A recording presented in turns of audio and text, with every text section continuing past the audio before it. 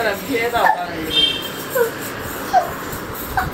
இங்க வா விங்கி இங்க வா என்னடா விங்கி இப்படி வா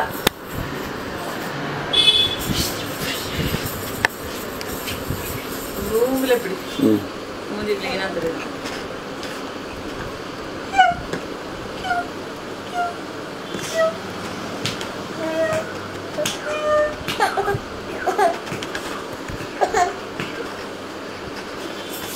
ம்,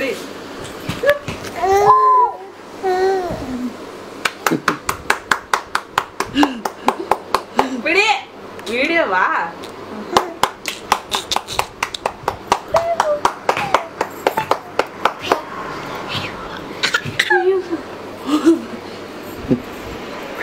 ஏய் எங்க வரது முன்ன வரதே வருது. ஏய். ஓய் ரவுடி மணி குட்டி மணி பிடி